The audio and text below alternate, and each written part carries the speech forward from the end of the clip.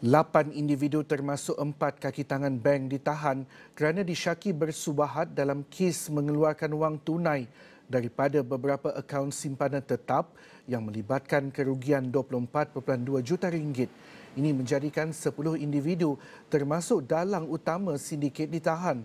Pengarah Jabatan Siasatan Jenayah Komersial Bukit Aman, Datuk Seri Ramli Muhammad Yusof berkata, tujuh daripada yang ditahan adalah di Sabah sementara seorang ditahan di Perlis dalam beberapa serbuan berasingan sejak 13 Jun lalu. Kesemua mereka iaitu lima lelaki dan tiga wanita berusia 26 hingga 53 tahun ditahan reman sehingga Jumaat ini. Kes disiasat mengikut Seksyen 420 Kanun Keseksaan kerana menipu.